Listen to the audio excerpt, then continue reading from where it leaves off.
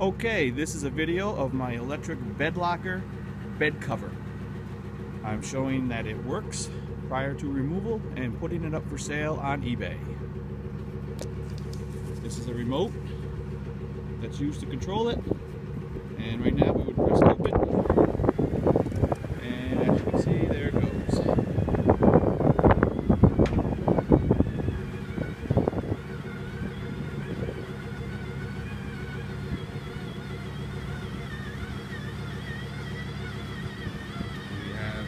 Completely open at this point.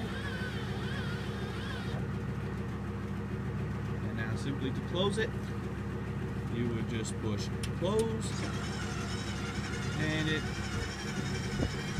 extends out over the bed.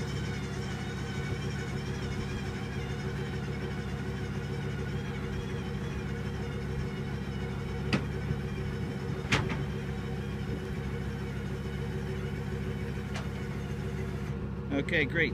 A little dusty. Maybe use a little bit of touch-up paint. Other than that, works out, runs out 100%. Thank you.